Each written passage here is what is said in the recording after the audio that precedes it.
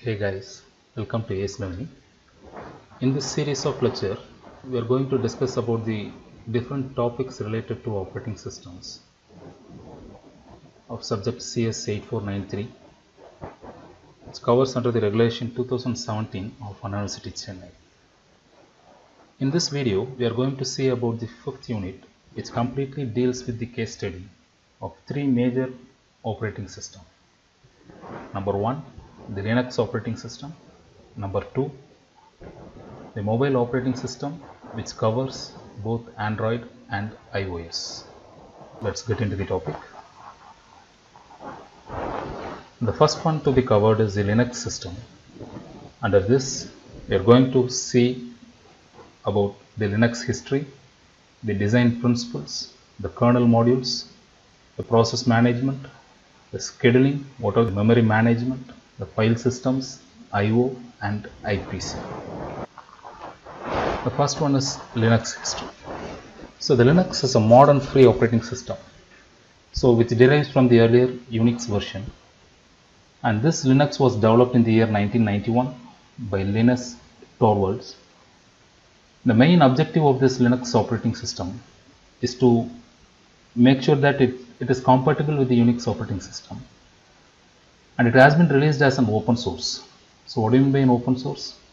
So the code is made available and it is developed by the large community developers. It's a collaborative work. So here they have kept the core Linux operating system as the kernel. So the kernel is the original part. And it has been developed by the community developers as said earlier. So the Linux community has developed and design this operating system to run efficiently and reliably on all PC hardware. And not only in that it also able to run on a variety of other platforms. As said earlier since it was developed by the community of developers it has no proprietary code. So what do you mean by a proprietary code. So no one could able to own the copyright of this linux version and the, there are several distributions of Linux which includes the kernel and different application programs and management tools. The Linux kernel. So there are different versions of Linux kernel available. The initial version was developed in the year 1991 and it was named as version 0.01. So it has been developed without any networking support. So what do you mean by networking support? It could not able to communicate over internet. The operating system has no support to communicate over internet and it runs only on the 80386 compatible Intel processor and limited device drive support that's supported only the Minix file system. So there is only some limited device drive support. And the next version is version 1.0 which was been developed in the year 1994 which comes with some basic TCP IP networking protocol support and BSD. What is BSD? BSD is a Berkeley standard distribution. So it is a research team for open source and it also has some extended support of device driver and SCSI and also has some hardware support. And next to this is version 1.2 which has been released in the year 1995 and it is exclusively the PC only Linux kernel. The kernels often comes with several versions and these versions has been classified as odd versions number and even version numbers. The odd version numbers are mainly called as the development kernels and the even version numbers are called as the production kernels. So the next one is Linux 2.0. This version Linux 2.0 has been released in the year 1996 with two major capabilities. Number one is multiple architecture and number two is the support for multiprocessor architecture.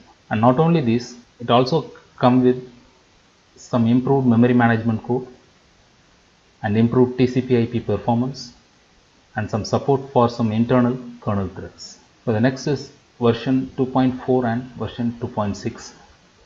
So this version 2.4 and 2.6 supports SMP, journaling file system, preemptive kernel. So what do you mean by this journaling file system? In case if a operating system has overcome with some failure, it faces some power failure and there, there may be some inconsistencies. So in order to overcome these inconsistencies, there is a special file that could be able to overcome these inconsistencies and that special file is called as the journaling file system.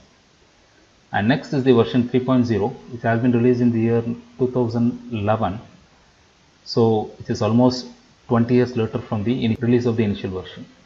So this version 3.0 supports virtualization and it has also some improved memory management. It also includes some page write back facility and new completely fair scheduler.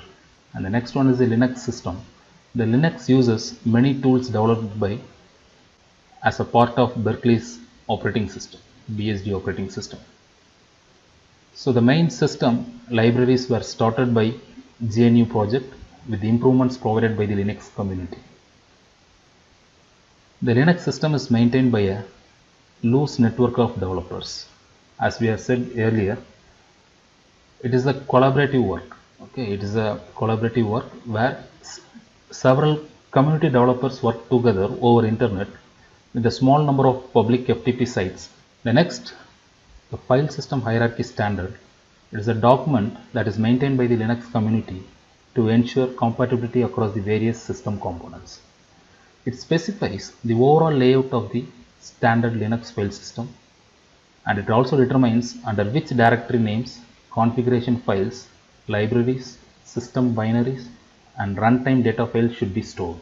And next comes the Linux distributions. What do you mean by distributions? The distributions can also be called as the packages, a set of packages that includes the basic Linux system, the system installation and management utilities. And not only that, and it also includes some ready to install packages for accessing the common Unix tools.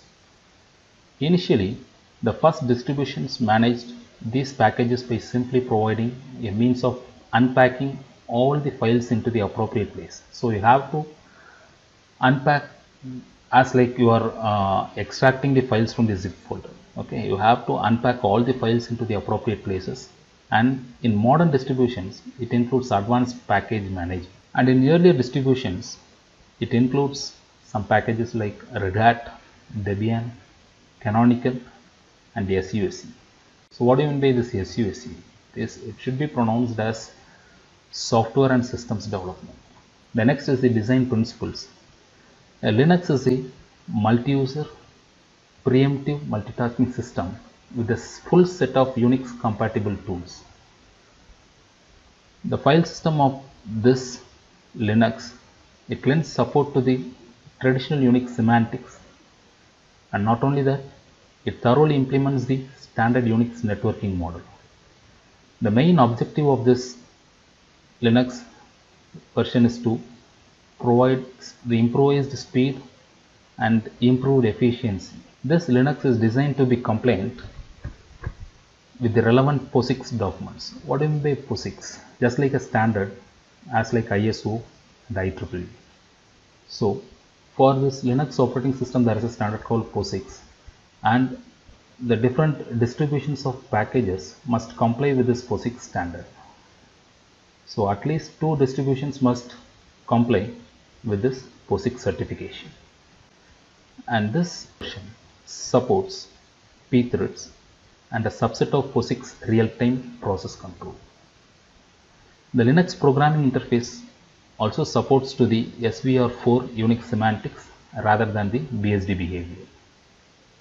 Now we can see about the components of the Linux operating system. So there are different components and it has been classified into four different layers the layer 1 is of loadable kernel modules. And layer 2 is the Linux kernel the actual kernel part. And layer 3 is the system shared libraries. And layer 4 is the user mode. Okay which compromises of different system management programs the user processes user utility programs and compilers. So all this comes under the application programs that could be able to run on your operating system so all these application programs with the help of this library files will be accessing your Linux kernel. Okay.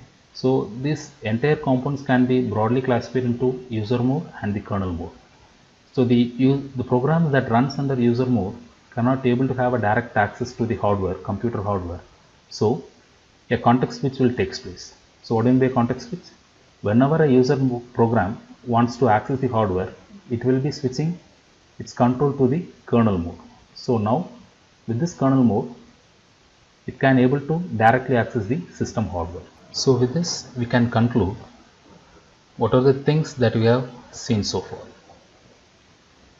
So under linux operating system we have discussed about the linux history the different versions that comes under the linux and from where it was been initially originated. And then comes the several design principles of the linux operating system.